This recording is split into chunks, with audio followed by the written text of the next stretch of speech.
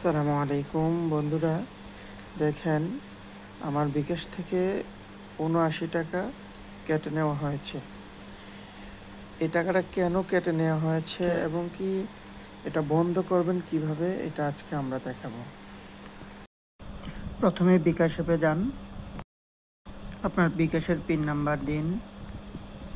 তারপর মেনুতে যান। নিচে দেখেন সাপোর্ট লেখা আছে, সাপোর্টে যান।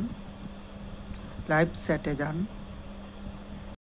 তারপর বাংলা এস এম এস করলে, বাংলা ইংলিশ করলে ইংলিশে এস এম এস করুন হেল্প চাচ্ছি বা সাহায্য চাচ্ছি।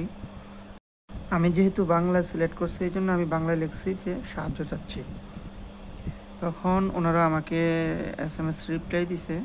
আমি বিকাশ থেকে বলছি, কীভাবে সাহায্য করতে পারি? আমি আমার সমস্যার কথা বলছি। তারপর দেখেন ওনারা আমার কাছে কিছু তথ্য চেয়েছে।